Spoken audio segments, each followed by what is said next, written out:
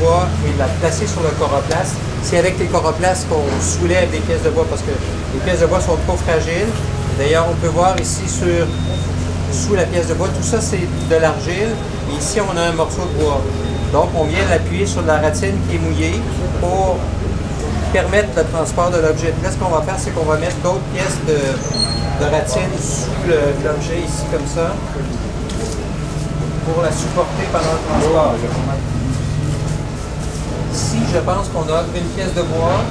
Ici, on a l'empreinte d'une pièce de bois. Ici, peut-être aussi l'empreinte d'une pièce de bois. Mais on ne va pas prendre de chance. On va tout prélever, puis après ça, au nettoyage, on verra ce qu'on peut faire.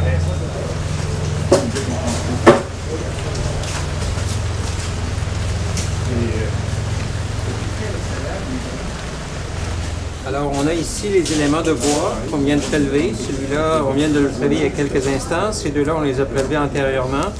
Et vous voyez ici ce qui est le plus important pour bien se souvenir de tous les membres de la famille, la numérotation archéologique. Donc ça, c'est ce qui nous permet de, savoir où est-ce qu'on est rendu dans, notre séquence. Euh, et on s'en va comme ça, on va placer les autres petites là, et ensuite ça, la dernière qui est là, on va la placer à l'extrémité. Cette numérotation-là va nous permettre de garder la séquence, la mémoire des opérations qu'on a faites sur le terrain. C'est ça qui est le plus important. Et euh, ça va nous faciliter grandement la vie quand on va faire le remontage de ces éléments-là pour une éventuelle mise en valeur. Alors là, ce qu'on a fait, c'est qu'on a mis la ratine. La ratine, c'est ce matériau qui est imbibé d'eau. Alors, on l'utilise à la fois pour supporter les pièces de bois, à la fois pour maintenir le bois humide parce qu'on ne doit pas le laisser sécher.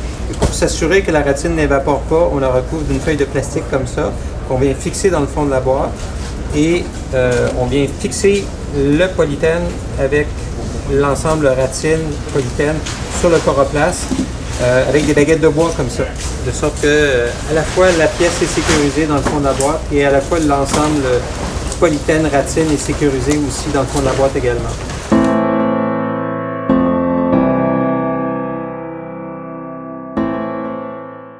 Alors aujourd'hui, on franchit une étape importante dans le projet de sauvetage des éléments de bois de la palissade.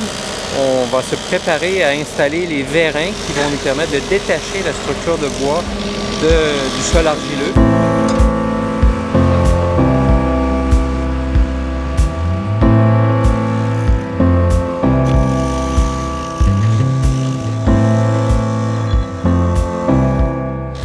Cette étape-là, une fois que la structure est détachée, va nous permettre de procéder au soulèvement des éléments des deux grandes sols, qui sont les fondements, à l'aide de la grue qu'on voit à l'arrière-plan.